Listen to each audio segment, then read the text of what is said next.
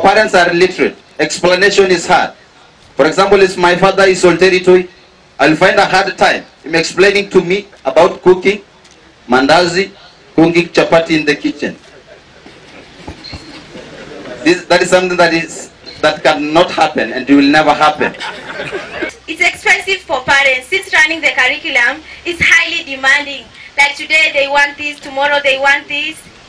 And also, it has led to wastage of time to the teachers since they have to go back to learn on how to teach the new curriculum. And as you see that most of the teachers are trained in the 844 system. The challenges that we encounter in CBC are about the exams. At first, in grade 1 to 5, we used to have structured exam. We did not have choices. We got used to that one, but now in grade 6, we are being brought objective exams. But now we don't know how to, uh, we, we are not used to it, so we don't know how to answer with them.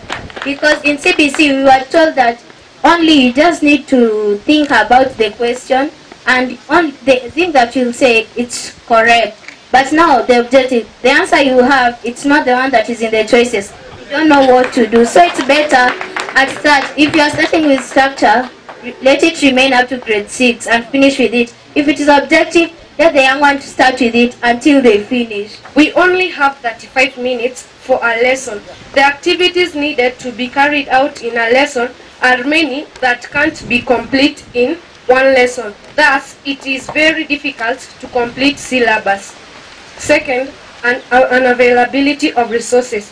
Most of the strands require of computer. Most of our schools do not have computers and there is no electricity. muundo msingi wa CBC mtaala huu haikuangazia zaidi kuhusu mahitaji au masomo inaelekezwa na maana kwa wale mtoto ambayo ana mahitaji maalum, pengine aoni, pengine ana cerebral palsy, visually impaired, au pengine labda ako deaf and dumb. CBC ni mzuri but watu wengi hawaelewi especially here in Narok eh, wazazi wengi pia bado wanalalamika. One mwe, kuna wa, watoto wengi wanaambiwa tumieni simu hizi kubwa kubwa. Na hiyo Narok sio watu wote wamesoma na sio watu wote wako na hizo simu.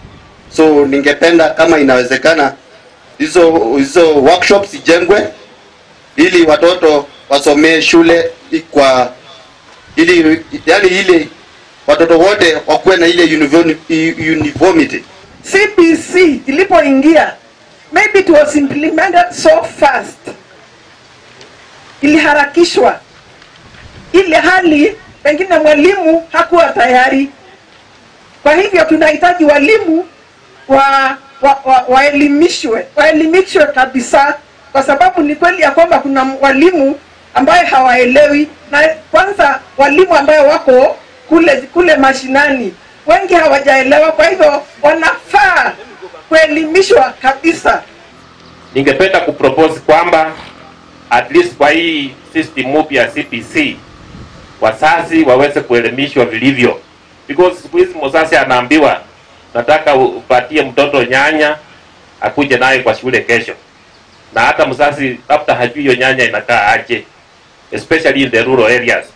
Alafu kuna pesa pia inakuwa involve kununua hiyo nyanya ndio mtoto aweze kuenda naye shule ili waweze kufundishwa. Wakati mwingine wanaambiwa kuja na kuku na hiyo kuku lazima inunuliwe mahali. Kwa hivyo ningependa kama tutaendelea na hii system ya CPC, waacha serikali provide enough teaching tools kwa mwalimu na kwa mzazi. This system, I don't, I, I really don't believe that it is, it's a bad system. Personally, if you are to ask me, on a personal point of view, I think it is just the teething problem that we have. You hear children say it is expensive. It is expensive because uh, in Narok, if you are to ask me, and I've seen the principal of Narok High, that is the school that I attended from one to form four. If, if, if you are to tell me to go to a place called Mara, to go look for some chicken so that it can be slaughtered, and then we can get only the liver, probably that, that could be hard for me because first of all, probably where I come from, the community I come from, we don't have chicken. Unless you tell me to go slaughter a whole cow or a goat, then I'll bring the, the, the liver, uh, all husbandly when, when it is still bleeding. So again, what I'm trying to say is that uh, it is something that we have to look at because a number of schools, particularly in the remote areas, some of these practical might be very hard to, to really implement. Why? I mean, in our country, we are not well distributed in terms of resources and even in terms of construction of schools and even the materials that are available there. But I think, Professor, because I have been told and I have followed you and your team, Dr. Githinji and the team, I have no doubt in my mind that you being there, you will take our proposals and really let's just try to see how it will work.